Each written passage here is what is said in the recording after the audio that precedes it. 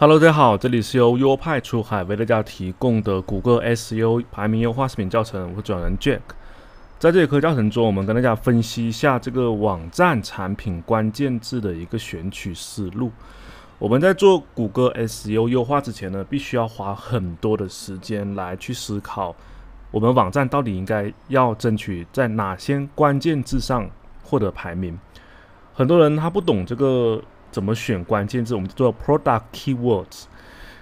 所以呢，我们这里给大家整理了三个思路，三个思路是从三个不同的角度来分析一下这个选关键字的一个思想上的差异。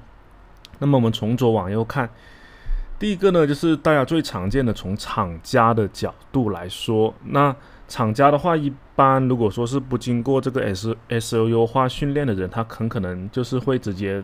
疯狂的强调自己想卖的东西，那比如说你是卖汽车轮子的，然后你总想说哦，买汽车轮子，买我的汽车轮子这样子的这种很粗浅、很呃很竞争度很大的一些关键字，那这样子其实是非常不可取的。首先，它是从卖家的角度来讲，然后第二呢，它这个竞争量非常大。我们往看到中间这里有的呃，到第二种情况是从直接想要购买的这个客户的角度来讲，那么如果说我们把自己当做一个潜在的消费者，他在网站上搜索某一些产品的时候，他肯定会说我想买什么什么东西，我想买个有什么什么样的特色的特质的东西。这样子的话，如果你的网站它的内容就是你的内容上有。能够满足这个客户他的想法的话，那你就很有可能会让你的网页，呃，出现在这个比较靠前的位置。第三种呢是潜在客户，这种类型的客户，他并没有完全决定要买什么东西，他只是想知道某种东西它是不是好用，所以呢他会搜索啊，比如说他要买车啊，他会想说，哎，这个奥迪车好不好？然后又会说，哎，宝马车好不好？或者说他会搜啊，这个春。春节期间假期的话，什么样的车、什么样的 SUV 合适带家人去去旅游？诸如此类这种应用场景的东西，它并不会直接搜某一个产品它的那个关键字。这样子的话，我们要呃写些文章来应对这样子的潜在消费消费者客户搜索的情况。所以呢，这三种简单来讲，就是我们的相关性。注意看左上角啊，左上角相关性呢越高，那说明我们就越容易获得高的排名。有了更加多的高的排名呢，就会有更加多的流量，就是一个这个这样的等式。所以啊，基于这个思路的话，我们就会发现，哎，长尾关键字是非常重要的。我们设置或者说我们准备要去呃优化的关键字呢，一定是要基于长尾关键字的，就是它要足够垂直跟细分。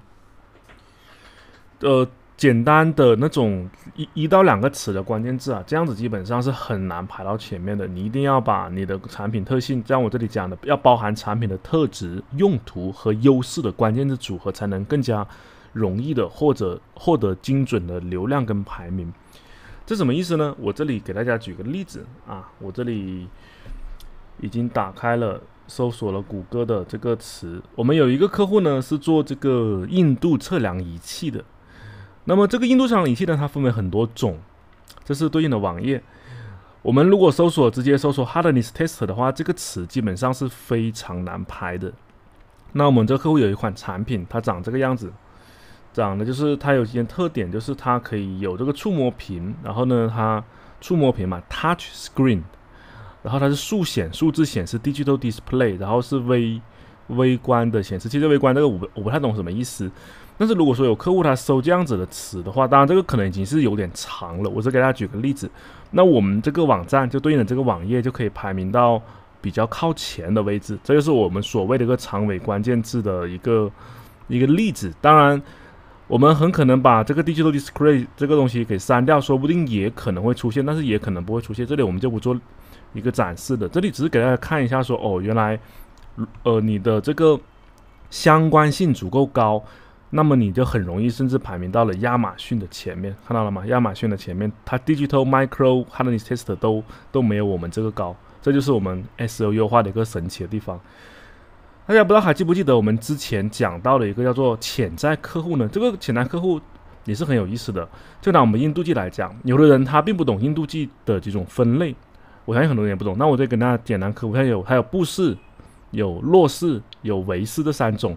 那么有的人他会说，哎，这三种 difference between 这三种 Rockwell、Victor 和 Brin Brino Brino 这这三种的这个印度计的差别嘛？这个如果这样搜的话呢，他肯定是想找到资讯而不是产品，所以这里会有些文章，像我们也写了一篇关于这个印度记的文章，它已经排到第二了。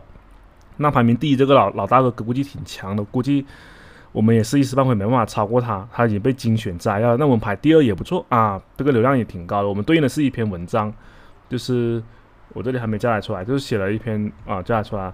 关于这三种不同的印度记的文的差别的这篇文章，在这篇文章中也会嵌入到我们的一些产品的一些相关信息，从而获得流量跟排名。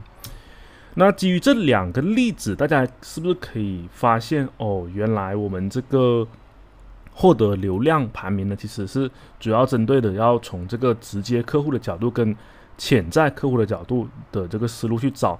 那么你们自己用的产品是什么产品呢？也可以告诉我们，或者说关注我们优派出海，我们有很多免费的视频教程。那我们下节课继续跟大家聊一聊如何做这个谷歌 SEO 优化排名。拜拜。